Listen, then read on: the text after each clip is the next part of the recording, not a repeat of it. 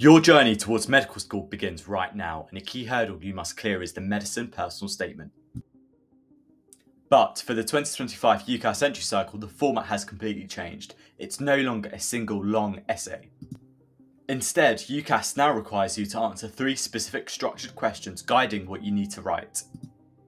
Before you even consider typing a single word, you must first understand the primary goal. What are admissions tutors truly looking for?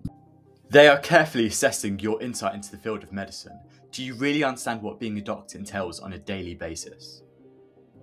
You must show them that you grasp the full realistic picture, acknowledging both the incredible rewards and the challenges of this demanding profession. Tutors are searching for compelling evidence of your core personal qualities such as empathy, unwavering integrity, and a strong sense of ethical judgment. You also need to demonstrate your capacity for resilience, providing examples of how you've handled pressure or coped with difficult situations. A deep scientific curiosity is non negotiable. You must be able to show a real sustained passion for the science behind medicine.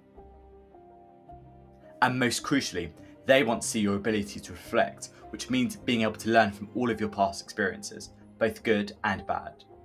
It's essential that you avoid the biggest cliches. Don't just say you want to help people, show them exactly how you've already done so.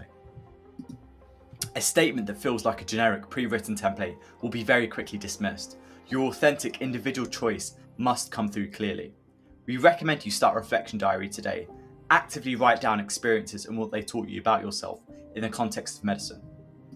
Make sure you thoroughly research the specific values and missions of the medical schools you're applying to, then show how you align your own values. This is not just a simple box ticking exercise for you to complete, it's your single best chance to reveal the thoughtful doctor within you. Every single sentence you write must be building a compelling, evidence based case for your suitability for this highly demanding university course. With that foundational mindset firmly in place, now let's begin to break down the first and arguably most important question you'll face.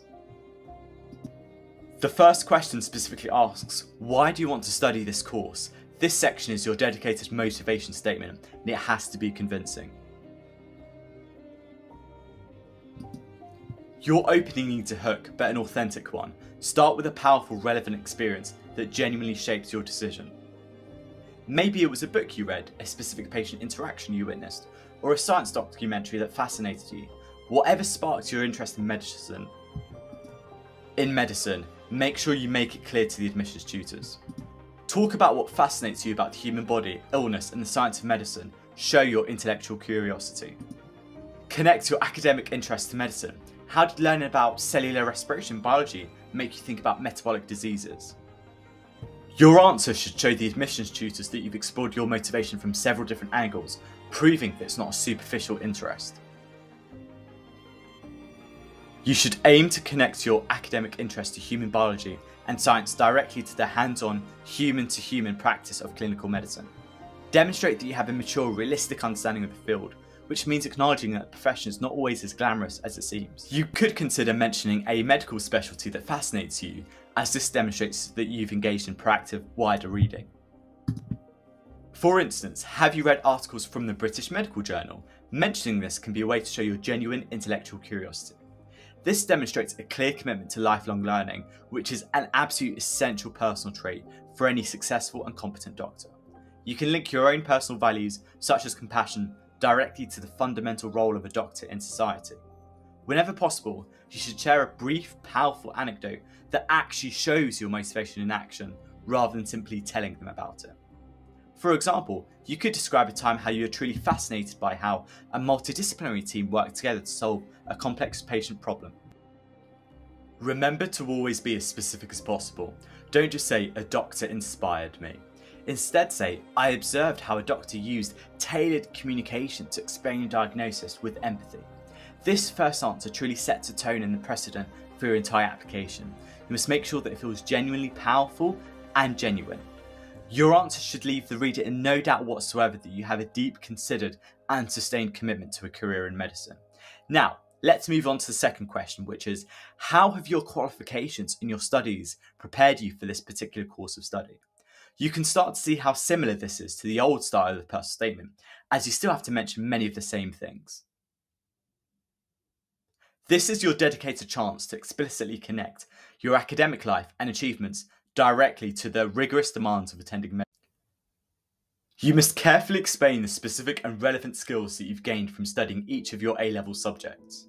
When discussing biology, you can detail your understanding of complex physiological systems or perhaps the intricacies of cellular processes. When you mention chemistry, you should highlight your firm grasp of molecular interactions and your analytical and problem solving skills. Do not neglect your third A level subject, for example, if it's maths, talk about data analysis. Be sure to mention a specific topic or even a school project that you found particularly fascinating and then carefully explain why. If you've completed an EPQ, this is the perfect opportunity to discuss your research skills and your ability to manage your time effectively. Above all, you must focus on valuable transferable skills you've developed, such as critical thinking, data interpretation. You need to show the admissions tutors that you understand all the qualities required of a doctor, and these are clearly set out by Oxford University and the Medical Schools Council. This section is designed to prove that you not only have the required grades, but also the solid intellectual foundation that's needed to succeed on the course. And finally, we arrive at question three, which asks, what else have you done to prepare for this course outside of your formal education?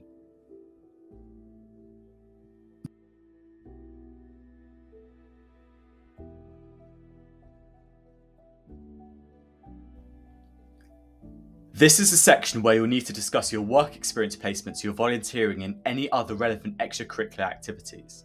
The golden rule for this entire section is deep and meaningful reflection. It's the key that unlocks the true value of your experiences.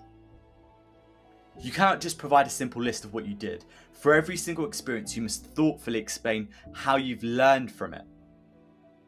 When you talk about your hospital or GP placement, focus on what you realistically observed and what you came to understand about being a doctor? What did you learn about the complex doctor patient relationship or the vital importance of clear, unambiguous, and empathetic communication skills? Try to describe one specific situation you witnessed and then thoughtfully explain how it directly impacted your personal view. You should discuss your volunteering experiences in detail. For example, working in the care home demonstrates empathy. How clearly did you learn your communication skills when interacting with vulnerable people?